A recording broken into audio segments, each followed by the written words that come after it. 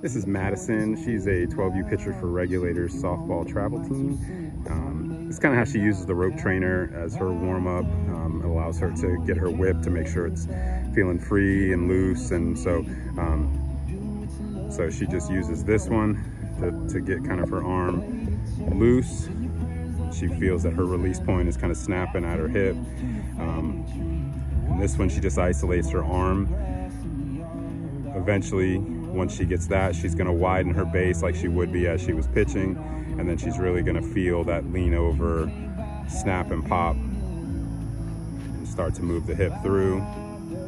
And the good thing with this is that the rope trainer allows you to hear at the, at the hip point. So when you're supposed to release it at your leg, at your hip, uh, you hear it pop right there if your arm is nice and free and loose. Uh, you're not really tightening the arm, you're not putting tension, it's just staying nice and loose.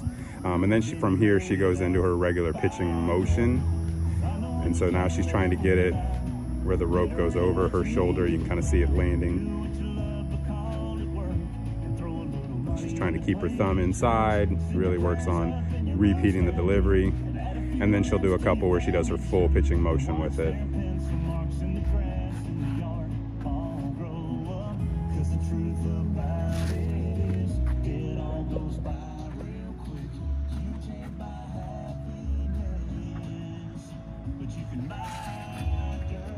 And then same thing, really looking to hit it on her left shoulder.